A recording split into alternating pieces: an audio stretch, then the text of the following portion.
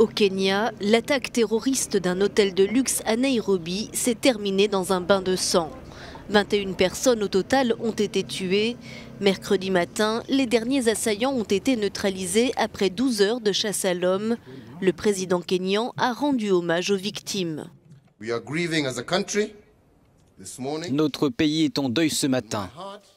Et mon cœur et le cœur de chaque Kényan pleure les hommes et les femmes innocents victimes d'une violence insensée. Ce n'est pas la première fois qu'un attentat secoue la capitale kenyane. Les habitants de Nairobi sont sous le choc et beaucoup sont en colère. C'est un désastre qui a affecté tout le pays. Et nous, Kenyans, nous sommes très tristes. C'est quelque chose que même les autres nations ressentent.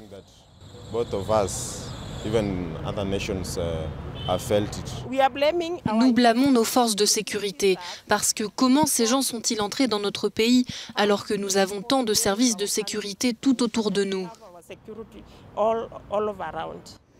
L'attaque a été menée par quatre djihadistes somaliens du mouvement Shebab qui a revendiqué le massacre. L'un des terroristes serait mort lors d'une explosion suicide. Par chance, plusieurs centaines de personnes ont pu être évacuées lors de l'attaque, limitant le nombre de victimes.